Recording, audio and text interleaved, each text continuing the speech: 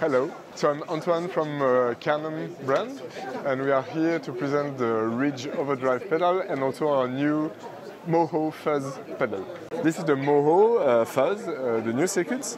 Uh, with the mood knob you can choose what kind of fuzz you want to start with, uh, with the kind of vintage uh, psychedelic uh, area in this zone, more modern like Big Muff style in this zone, and go to new futuristic edgy sound uh, in this. And also you have in this region an inside ring modulator that you can change with this knob.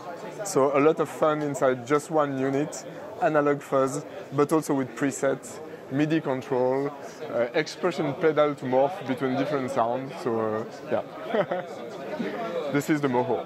Please just take a guitar and have some fun.